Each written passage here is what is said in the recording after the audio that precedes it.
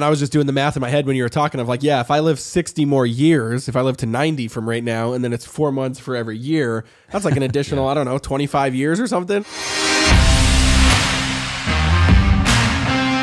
What's up, guys? Another episode of Five Minute Fatherhood. Me and Jeremy here. Uh, fun topic for today, and that is this thought or this idea that your influence over your grandkids may be greater than your own kids. So, Jeremy, I'm excited to hear what you think. But initially, when I read that out loud, what I think of is this idea that yeah, there's something about grandchildren that, like I was saying earlier, they kind of give their ears more to the their grandparents than the kids do to the parents. Meaning, there's something about everything a, a grandparent says to a grandchild, the kid usually sees it as gold, right? When it's like you'll never yeah. usually have that kind of tone or attitude from your kids, um, and not you know even if they love you and listen and all that. So I think that's an interesting thing too. There's something about the dynamic that I wonder if yes. God has ordained that that you have kind yes. of a, a voice of wisdom and influence in uh, your children, or I mean your grandkids, that is really unique. But I don't know how would you process this or frame this?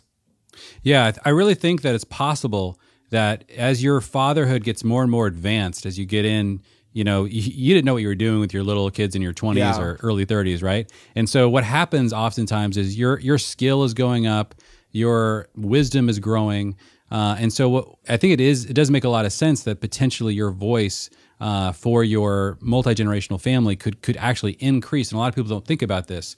Um, there was actually some research done, and um, and there's uh, there's actually a um, a quote that's I th- I find really fascinating, um, where all this research of how grandparents were having a much stronger impact on their children, their grandchildren in, in some cultures than their kids.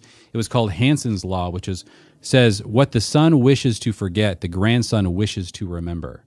And this has happened where you've seen like a lot of revival amongst uh, Jewish communities where there's uh, a sudden explosion of Jewish identity, where there were Uh, in an older generation that was really into the the practices of Judaism. Their kids really rebelled against it and sort of abandoned those practices, and then suddenly in the third generation, a huge percentage comes back to to those practices.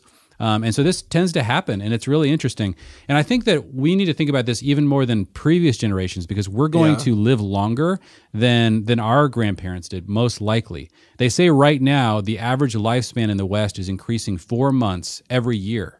It's this never wow. happened. This there's a there's a rapid expansion as we get rid of diseases and as we learn all kinds of treatments for uh, for those illnesses that, that come in the old in old age.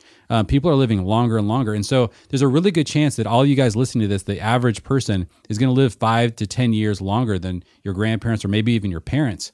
And in that case, you're going to see ten years in your 80s or 90s is, is a massive amount of influence if you're building a multi-generational family. Just 10 years can mean that you're going to meet you know 20 or 30 more descendants than you otherwise would meet.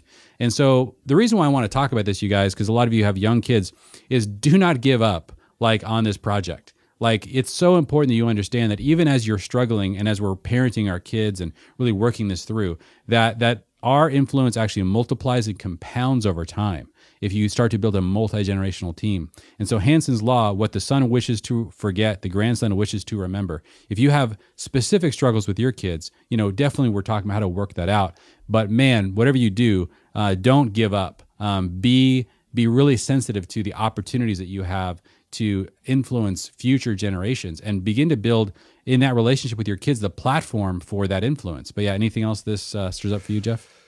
No, I love that. And I was just doing the math in my head when you were talking of like, yeah, if I live 60 more years, if I live to 90 from right now, and then it's four months for every year, that's like an additional, yeah. I don't know, 25 years or something. That's crazy. So then yeah, I technically, would I live to 115? Right? Is that like, but yeah, the science is pointing that way, which is absolutely crazy. And so I think, yeah, that just takes into account of like you have influence and you'll have more time to use that influence. And so make sure you are using that influence.